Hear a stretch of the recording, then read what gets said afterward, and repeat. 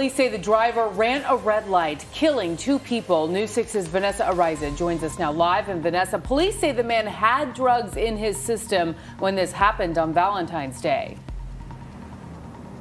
That's right, Lisa. Through blood testing, they found THC and caffeine. And also, when a police was, or when a police officer was speaking with that suspect, he said that he could smell marijuana on him. Now, it's his actions on Valentine's Day morning that landed him here at the Orange County Jail.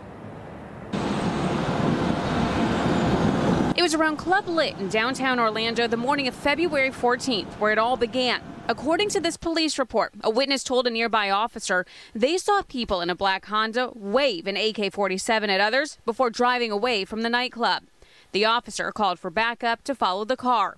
City cameras caught the driver speeding through several streets in the downtown Orlando area. At one point, driving the wrong way and running through red lights. It was here at this intersection where police say Alexander Francis hit the driver's side of another vehicle. That crash resulted in the death of two people.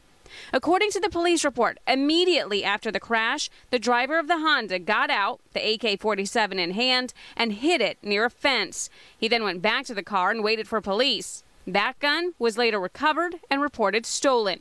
Now, almost three months after the deadly crash, Francis has been charged. He went before a judge today.